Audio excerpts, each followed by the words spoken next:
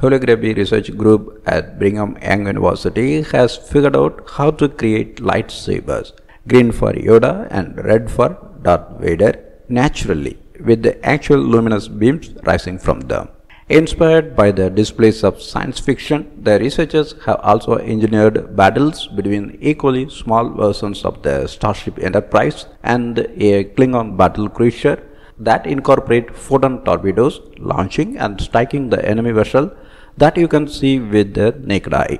The researchers say that what we are seeing in the scenes is real. There is nothing computer generated about them. This is not like the movies where the lightsabers or the photon torpedoes never really existed in physical space. These are real and if we look at them from any angle, we will see them existing in that space. It is the latest work from Brigham Young University researchers who garnered national and international attention three years ago when they figured out how to draw screenless free-floating objects in space. Called optical trap displays, they are created by trapping a single particle in the air with a laser beam and then moving that particle around, leaving behind a laser illuminated path that floats in midair like a, a 3D printer for light. The research group's new project goes to the next level and produces simple animations in thin air. The development paves the way for an immersive experience where people can interact with holographic like virtual objects that coexist in their immediate space.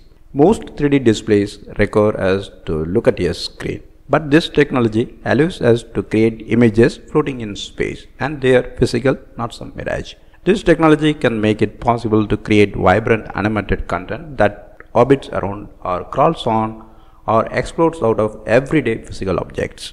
To demonstrate that principle, the team has created virtual stick figures that will walk in thin air.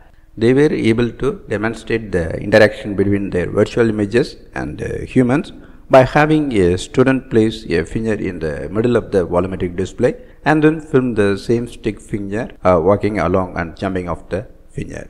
The researchers detailed these and other recent breakthroughs in a new paper published in the journal Nature Scientific Reports.